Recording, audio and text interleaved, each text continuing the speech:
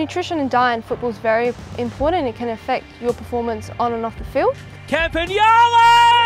Incredible! In the 97th minute!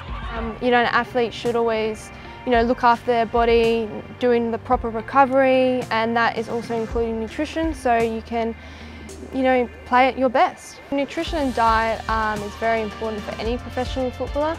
Um, it's important that you know you fuel your body with the right types of food. So like before a game, having you know for example what I do, I have uh, toast with honey and banana, and then lots of water as well. So I'm hydrated and fueled with carbohydrates because that's the main source we use.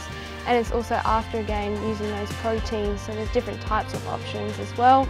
Uh, the main one that we would use is probably a, a, shake, a protein shake that the club gives us. Through my studies I've learned a lot of techniques, uh, particularly in the sports nutrition side, uh, like preparing for a game, making sure, you know, consuming a lot of carbohydrates, fueling my body appropriately and, you know, with hydration as well, particularly as we play in the summer.